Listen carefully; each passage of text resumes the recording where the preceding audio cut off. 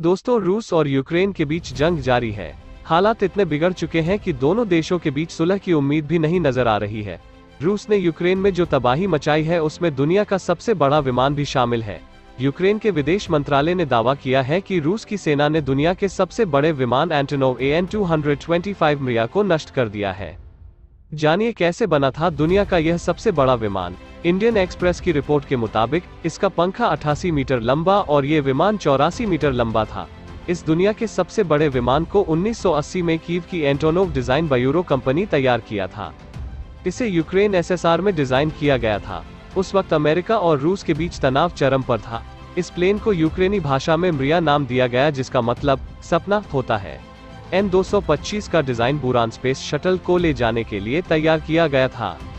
साल उन्नीस सौ नवासी की जब रूस की योजना थी, अमेरिका के शटल करियर की तरह एक प्लेन बनाया जाए। साथ ही उस पर रूसी स्पेस शटल को लॉन्च किया जाए। जब उन्नीस सौ इक्यानवे में सोवियत यूनियन बिखरा तो बुरान कार्यक्रम रद्द कर दिया गया। इसके बाद एयरक्राफ्ट का इस्तेमाल भारी सामान ढोने में होने लगा। विमान ने अपनी पहली उड़ान 1988 में भरी थी। इसका कुछ समय तक इस्तेमाल आर्मी के जवानों ने किया था, जिसे बाद में इसका इस्तेमाल कई देशों तक राहत सामग्री भेजने में किया जाने लगा। यह विमान 640 टन तक का भार उठा सकता था।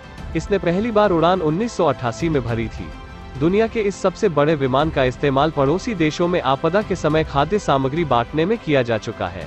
कोरोना महामारी के शुरुआती दौर में इसका इस्तेमाल वायरस से प्रभावित कई देशों तक दवाओं और मेडिकल इक्विपमेंट पहुँचाने में किया गया था।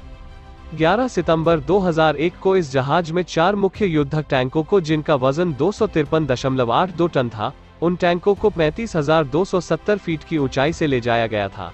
विमान ने चारों टैंक्स को 1000 किलोमीटर दूर सात किलोमीटर प्रति घंटा की गति से पहुँचाया था। एंटोनोव ए एन टू ने 11 जून 2010 को दुनिया का सबसे लंबा एयर कार्गो उठाया था। यह 138 फीट लंबा विंड टर्बाइन ब्लेड था जिसे उसने चीन के तियानजिन से डेनमार्क पहुँचाया था। इस विमान पर रूस ने हमला क्यों किया अब यह समझते हैं। पिछले चार दिन से रूस यूक्रेन के हर उस ठिकाने को तबाह करने में जुटा है जो उसके लिए मजबूती बन सकता है। इसलिए रूस यूक्रेन के सैन्य ठिकानों को बर्बाद करने में जुटा हुआ है। रूस ने यूक्रेन के हॉस्टोमेल एयरफील्ड पर अपना कब्जा किया है। एन 225 वहीं पर रिपेयरिंग के लिए खड़ा किया गया था। इस तरह इस पर हमला हुआ। ए एन टू मारिया पर रूस ने इसलिए हमला किया है क्योंकि यह यूक्रेन की ताकत का एक प्रतीक है। इस विमान की तबाही के बाद उस जगह सैटेलाइट तस्वीरें जारी की गई हैं, जहाँ यह विमान खड़ा था। इस विमान को खोने और देश में तबाही मचने के बाद भी यूक्रेन के लोगों का कहना है कि हम हारेंगे नहीं, फिर से नया विमान बनाएँगे।